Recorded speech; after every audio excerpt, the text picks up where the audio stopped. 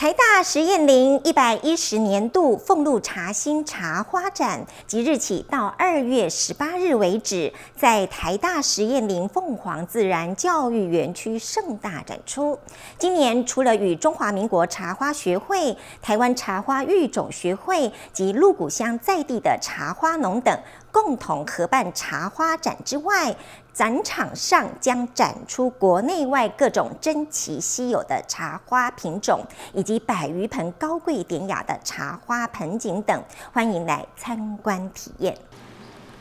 一朵朵颜色艳丽的茶花迎风摇曳。每年春节前，台大实验林凤凰教育园区都会举办茶花展，这是结合茶花学会与当地茶花农。搭配制茶农具，一起展出上百盆花色鲜艳的特种茶花，不仅增添年节气氛，也让游客在春节期间多一个踏青赏花的地方。大家可以看到，我们在身后的，就是今年好一年一度举办的茶花展，好丰禄茶花展。我们这次的活动呢，展到过完年二月十八号为止，好。那大家待会可以在画面上看到，我们这次的造型非常的独特。我们有结合了在地的茶艺，哈，我们各种的制茶工具，那结合还有本区的风自然的地景风景，那我们这次也特别请到好中华民国茶花协会、台湾的茶花育种协会、新竹县市的产销班。那最特别的是，我们这次还有两位哈在地的茶农哈共同来参与哈。我们将近百盆的这个茶花里面有三分之一是他们所贡献哈，这也会实现我们管理处好实现大学社会责任好。也达成联合国有序发展目标的一个部分。那这次的啊，因为这最近的天气也非常的这个风和日丽，欢迎大家有空好了莅临本区来观赏茶花。那另外也稍微预告一下，好，我们本区非常著名的樱花展，现在大概开了三层到四层，也非常大气，希望大家好来赏茶花的时候呢，也顺便来欣赏一下樱花。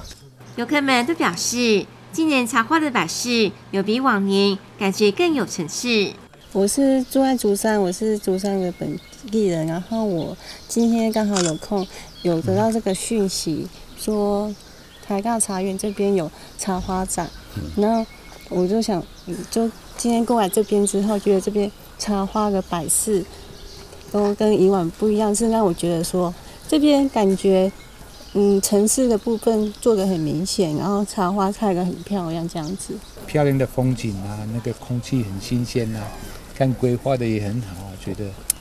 很值得来。嗯，而且那个我们一个我们最爱来的地方啊，是那个那个溪头，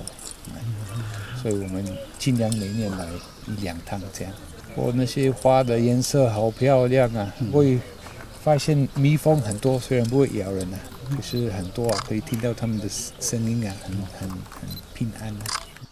另外，园区中最著名的樱花隧道，目前也已经正式开放，大约有三成的花提早来报道。春节期间会有六到七成的樱花绽放，届时整个樱花隧道将会被粉红花海所占据。喜欢赏花的民众可以趁着春节年假来一趟茶花与樱花的对话。